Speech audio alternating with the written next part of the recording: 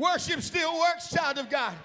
Worship still works on behalf of those who throw themselves down at the feet of Jesus. And I need to tell somebody in here you can't just worship God when the sun is shining. You can't just worship God when your pockets are filled with cash. You can't just worship God when your body is healthy and everything seems to be going right in your life. I don't need any more worshipers at Wheeler Avenue. I don't need some on again, off again worshipers. I need somebody who says, God, whatever's going on, I'm still your child. You're still my God. Even when my money is funny, even when my change is strange, even when my bills are due, I will worship you.